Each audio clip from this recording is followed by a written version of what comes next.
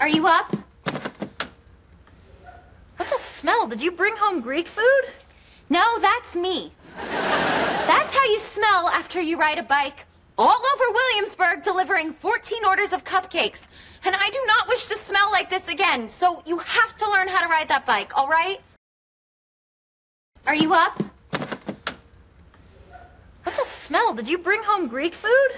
No, that's me That's how you smell after you ride a bike all over Williamsburg delivering 14 orders of cupcakes. And I do not wish to smell like this again, so you have to learn how to ride that bike, all right? 下面我来按照元素跟读一遍，大家看一看下划线的部分能不能听出来是什么单词？Are you up? With a smile, did you bring home Greek food? No, that's me. That's how you smile after you ride a bike all over Williamsburg delivering 14 orders of cupcakes. And I do not wish to smile like this again. So you have to learn how to ride a bike, alright? Alright，公布答案，第一个是 ride，ride，它有骑马、骑摩托车、骑自行车的意思。第二个是 orders，orders，订单、订货。所以这个句子的意思就是说，你没睡吧？怎么有股味儿？你打包了希腊菜回家吗？ 没，那是我的味道。我身上有这股味儿，是因为我骑着自行车跑遍了整个威廉斯堡，送了十四笔小蛋糕外卖。而我不希望身上再有这种味道了，所以你一定要学会骑自行车，明白吗？OK，咱们来看一下语音部分。第一句，Are you up？那么 you 和 up 是连读成了 you up。You up，并且语调上扬。Are you up？What's that smile？中间的单词 that 是做了弱读，开头的 th 不发音，并且结尾的爆破音 t 出现了失爆的现象，读成了 What's that smile？What's that smile？Smile 做重读。Are you up？What's that smile？Did you bring home Greek food？那么 did 和 you 发生了同化连读的现象，读成了 Did you？Did you？第二行 Greek food，Greek 结尾的 k 出现了失爆的现象，咱们只做口型和舌位，但是把声音给吞掉，读成了 Greek food，Greek food，并且这个句子语调上扬。Did you bring home Greek food？No, that's me。那么标号的单词都是重读，咱们放慢语速，提高音量。That's how you smile after you ride a bike all over Williamsburg delivering 14 orders of cupcakes. 第三行 ride 和 a 连读成了 ride ride，它的意思是骑马、骑自行车、骑摩托车等。all 和 over 连读成了 all over all over。Williamsburg，那么这个单词结尾的爆破音 g 出现了失爆的现象，咱们只需要把口型和舌位放在发 g 的位置。但是把声音给吞掉，读成了 Williamsburg。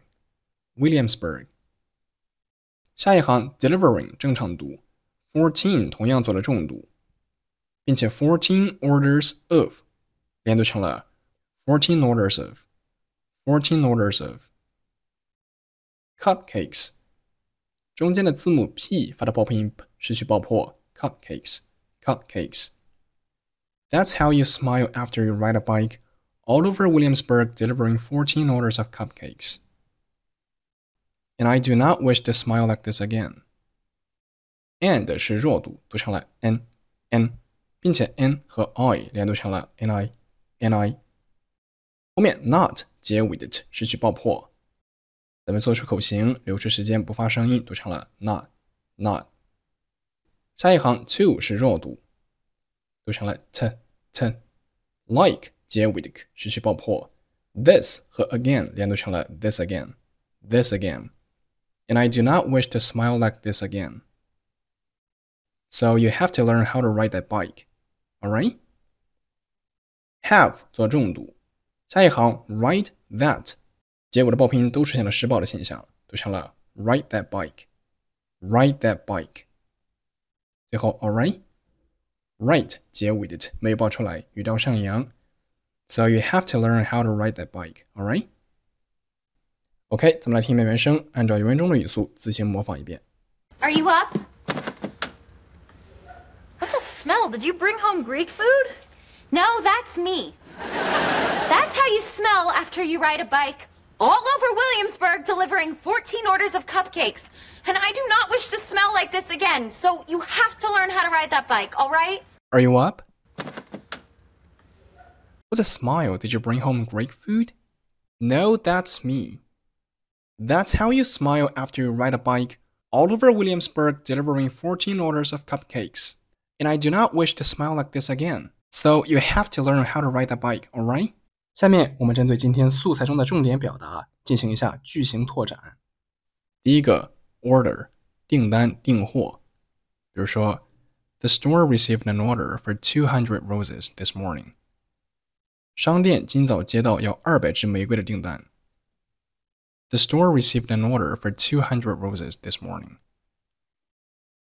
再看一个例句 ，I like to cancel my order。我想取消订单。I like to cancel my order。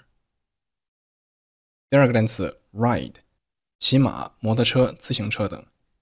比如说，Most children learn to ride a bicycle at an early age。大多数孩子小时候就学骑自行车。Most children learn to ride a bicycle at an early age。再看一个例句，She got on her bicycle and rode away。 他骑上他的自行车离开了。She got on her bicycle and rode away。那么今天的讲解就到这里。如果大家想要有效的提升自己的英语听力和口语水平，欢迎关注我的账号。我们下期再见。